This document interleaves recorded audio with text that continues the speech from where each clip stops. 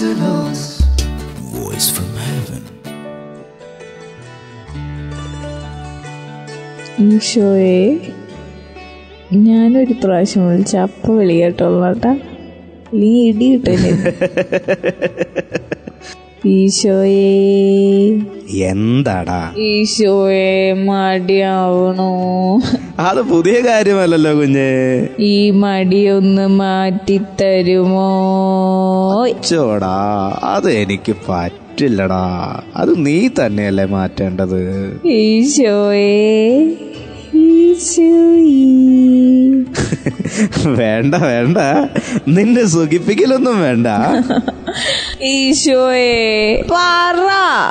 ഇപ്പൊ നിന്റെ കൂടെ നടന്ന് നടന്ന് എനിക്കും മടി പിടിക്കുന്നുണ്ടോന്നൊരു സംശയമുണ്ട്. നിനക്കും മടിയാണോ.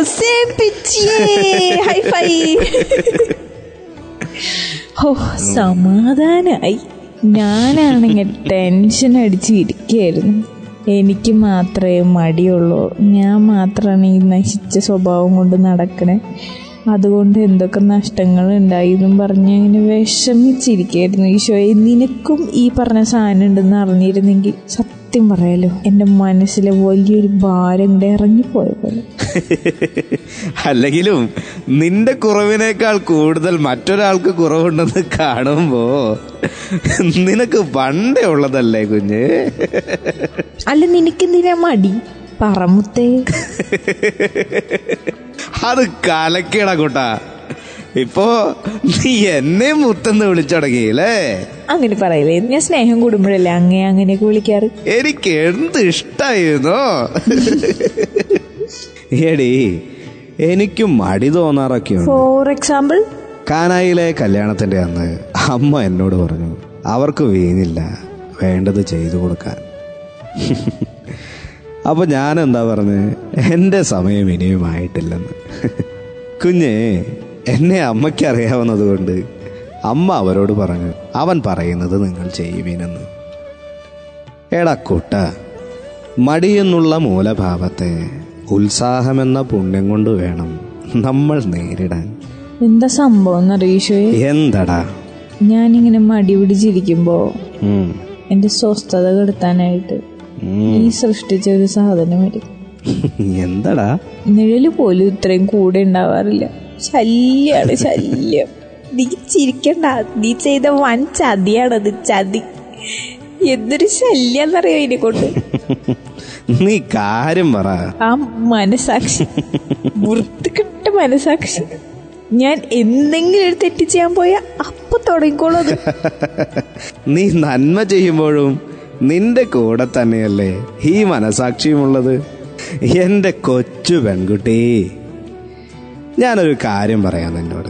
നീ ഫുട്ബോൾ കളി കാണുന്നതല്ലേ? അപ്പോ അതിലൊരു റഫറി ഉണ്ടാവും. ആ റഫറിയാണ് ആ കളിയെ നിയന്ത്രിക്കുന്നത് അല്ലേ?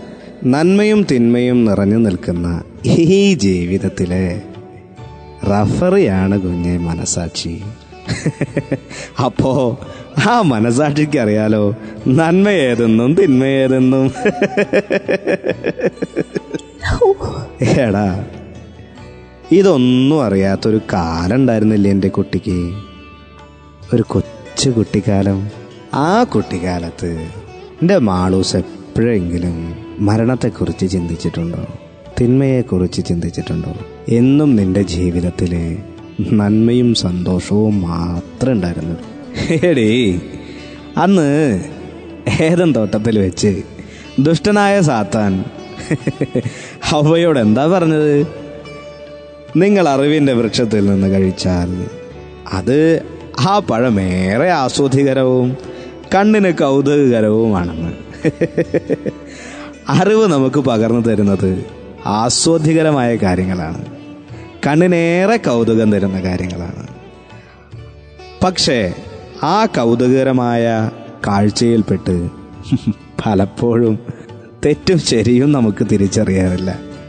കുഞ്ഞേ നിനക്കൊരു കാര്യം അറിയോ പ്രലോഭനങ്ങൾ എന്റെ ജീവിതത്തിലും ഉണ്ടായിട്ടുണ്ട്. എന്റെ മനസാക്ഷിയെ ചോദ്യം ചെയ്യുന്ന പ്രലോഭനങ്ങൾ. ഞാൻ ദൈവപുത്രനാണോ എന്നുള്ള ചോദ്യം എന്റെ മുൻപിലേക്ക് പ്രലോഭനങ്ങളിലൂടെ കടന്നു വന്നു. പ്രലോഭനങ്ങൾ എന്നെ കൊണ്ട് ഇങ്ങനെ ചിന്തിപ്പിച്ചു. ഞാൻ ദൈവപുത്രനാണെങ്കിൽ എനിക്ക് ഈ കല്ലുകളോട് അപ്പമാകാൻ പറയാൻ സാധിക്കും. അവയെ എനിക്ക് ഭക്ഷിക്കാം വിശപ്പ് മാറ്റാം. കുഞ്ഞേ നീ ഒന്ന് ആലോചിച്ചു നോക്കിയേ ഞാൻ അങ്ങനെ ചെയ്യുന്നത് ശരിയാണോ? നമ്മൾ നമ്മുടെ തന്നെ ആവശ്യങ്ങൾക്ക് വേണ്ടി നമ്മുടെ മനസാക്ഷിയെ വളച്ചൊടിക്കാൻ പാടുവോ? ഇല്ലല്ലോ.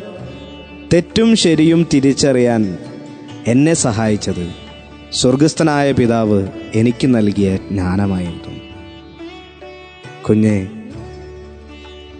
മനസാക്ഷി എന്നുള്ളത് എന്നും നിലകൊള്ളേണ്ടത് സ്വാർത്ഥതയ്ക്ക് വേണ്ടിയിട്ടല്ല. അത് നിന്റെ ചുറ്റിലുള്ളവർക്കും വേണ്ടിയുള്ളതാണ്. മനസാക്ഷി എന്ന് പറഞ്ഞാൽ മനസ്സിന്റെ കണ്ണാണ് കുഞ്ഞ്. നിന്റെ പുറമേയുള്ള കണ്ണും നടച്ച് നിന്റെ ഉള്ളിലുള്ള കണ്ണ് തുറക്കാൻ നീ തുടങ്ങണം. അറിവെന്നുള്ളത് നിനക്ക് തരുന്നത് പുറമേയുള്ള കാഴ്ചകളാണെങ്കിൽ ജ്ഞാനമെന്നുള്ളത് നിനക്ക് തരുന്നത് അകമേയുള്ള കാഴ്ചയാണ്.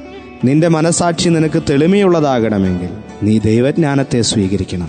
സത്യമേതെന്ന് നീതി ഏതെന്ന് നിനക്ക് തിരിച്ചറിയുവാൻ അപ്പോൾ സാധിക്കും. അപ്പൊ അങ്ങനെയാണല്ലേ മനസാക്ഷിയുടെ കഥ? എന്റെ മാളൂസേ മനസാക്ഷി എന്നുള്ളത് നിന്നെ വിഷമിപ്പിക്കുന്ന ഒന്നല്ല. നിന്നെ സഹായിക്കാനുള്ളതാണ്. അതിനെ നീ സ്നേഹിക്കുമ്പോൾ നീ അതിനെ കൂടുതൽ അന്വേഷിക്കുമ്പോൾ നിന്റെ പുറത്തെ കണ്ണടച്ച് അകത്തെ കണ്ണ് തുറക്കുമ്പോൾ നിനക്ക് ഈ ഭൂമിയെല്ലാം വേറൊരു രീതിയിൽ കാണാൻ സാധിക്കും കുഞ്ഞ്. അപ്പൊ ആൾ കുഴപ്പക്കാരനല്ലാന്ന് അർത്ഥം. ഒരിക്കലും അല്ലടാ പക്ഷെ എന്നാൽ ഈശോയെ ഐ ലവ് യു. കാരണം എന്താണെന്നറിയോ? ആരുമില്ലാത്ത നേരങ്ങളിലും എന്നോട് തല്ലി പിടിക്കാനും എന്നെ സാന്ത്വനിപ്പിക്കാനും എന്നെ സന്തോഷിപ്പിക്കാനും ആ മനസാക്ഷിയുടെ രൂപത്തിലാണെങ്കിലും നീ എന്റെ കൂടെ ഉണ്ടാവുമല്ലോ. എനിക്കെന്റെ പൊന്നു മനസാക്ഷിനെയും എന്റെ പൊന്നു ഈശോയെയും ഭയങ്കര ഭയങ്കര ഭയങ്കര ഇഷ്ടമാണ് I love you Jesus.